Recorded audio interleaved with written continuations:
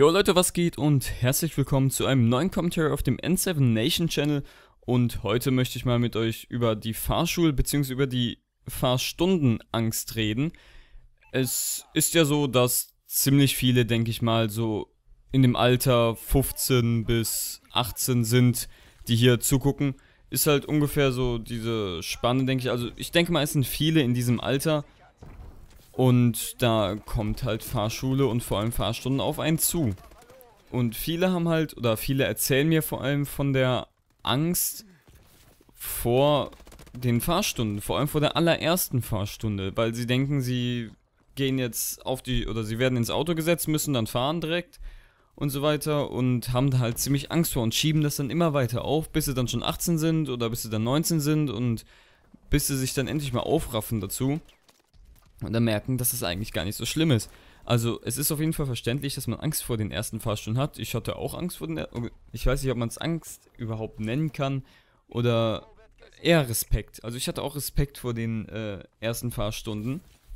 Weil es ist halt was ganz Neues, wenn man lernt, Auto mit Schaltgetriebe zu fahren und äh, ja, man ist halt schon im Straßenverkehr direkt und irgendwie, man kennt das ja, wenn man so aus Spaß immer irgendwas macht, wenn, also wenn man sieht, dass einer abwirkt, sieht es ja immer ganz lustig für einen aus. Und man sieht halt nicht, wie gestresst der Fahrer davon dann zum Beispiel ist.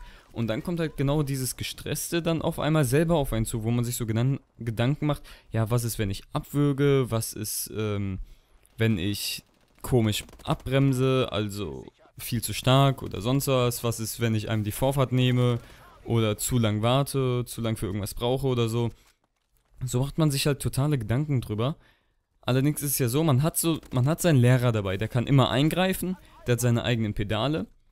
Und für alle, die es nicht wissen, bei der ersten Fahrstunde ist es, gibt es, soweit ich weiß, eher gesagt, zwei Varianten, die so üblich sind. Und zwar die eine Variante wäre, dass man auf einen Fahrübungsplatz oder so nennt man das geht, wo man dann halt erstmal übt. Das ist einfach nur eine gerade Ebene und da wird dann mit Hütchen was abgesteckt, wo man durchschauen soll und so, soll einfach probieren anzufahren und so. Das ist sowieso ganz egal, wie man irgendwas falsch macht oder so. Und für alle, die Angst haben, dass sie abwürgen oder so, oder sich Sorgen machen, dass sie abwürgen, dafür ist ja eigentlich die Fahrschule da. Und auch wenn man nach der Fahrschule nochmal abwürgt, ist eigentlich nicht schlimm. Das ist, das kann eigentlich jedem egal sein. Das passiert halt mal, vor allem beim neuen Auto oder so, oder wenn man sich halt an ein anderes Auto gewöhnen muss und alles. Das ist halt einfach so, das passiert halt ab und zu mal. Und da gibt es halt diese Variante mit diesem Fahrübungsplatz. Die andere Variante, wie es bei mir zum Beispiel war, ist, dass man setzt sich ins Auto rein, dann redet der Fahrlehrer halt erstmal mit dir, zeigt dir so alles, äh, hier, das, hier, das für Licht, Blinker, das und das halt. Alles, was da an Knöpfen und Schaltern oder sonst was dran ist. Und auch für alle, die das mit den Pedalen nicht wissen, wo was ist und so, die wird halt alles erklärt, Handbremse und sonst was. Auch wenn es für manche jetzt komisch klingen mag, dass, ob man das nicht weiß oder so, ist halt nicht von jedem das Interesse damit geweckt. Aber das wird jedem immer am Anfang er erklärt. Und Jetzt habe ich den Faden verloren. Genau. Dann geht es so weiter, dass, oder so ist es bei mir weitergegangen. Erstmal nur lenken. Der Fahrlehrer macht alles. Er schaltet, er gibt Gas, er bremst, er kuppelt. Also alles, was du mit den Füßen oder so machen musst, oder außer halt schalten, das macht man normalerweise nicht mit dem Fuß, nur so nebenbei schon mal, äh, macht halt der Fahrlehrer und man selber lenkt und blinkt einfach nur. Mehr nicht.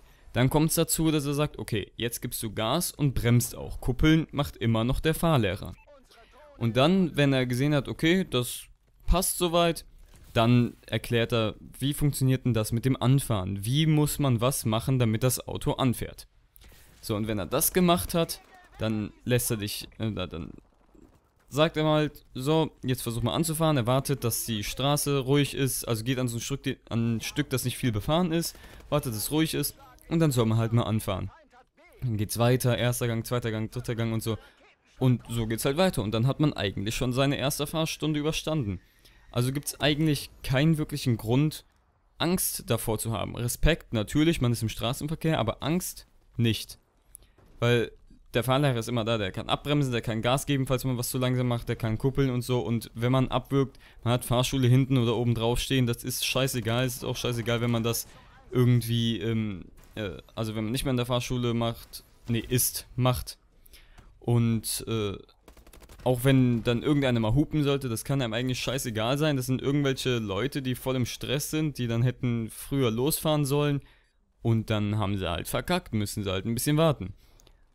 Und ich hoffe mal, dass alle, die Angst haben vor der ersten Fahrstunde, einfach mal sich aufraffen und zur ersten Fahrstunde gehen und dann sehen, dass es eigentlich gar nicht so schlimm ist. Und außerdem hoffe ich, dass es euch gefallen hat. Schaut mal bei mir auf meiner Facebook-Seite vorbei, N7Acer einfach. Und auf der Team N7-Seite heißt halt Facebook slash Team N7 oder Team.N7. Geht momentan beides, wird mir einfach dazu weitergeleitet. Und dann würde ich mich über ein Abo auf meinem und auf diesem Kanal freuen über ein Like und über einen Kommentar. Schreibt mal, ob ihr Angst hattet, wenn ihr den schon habt oder ob ihr Angst habt momentan davor oder halt eure Erfahrungen. Schreibt einfach alles in die Kommentare. Bis zum nächsten Mal.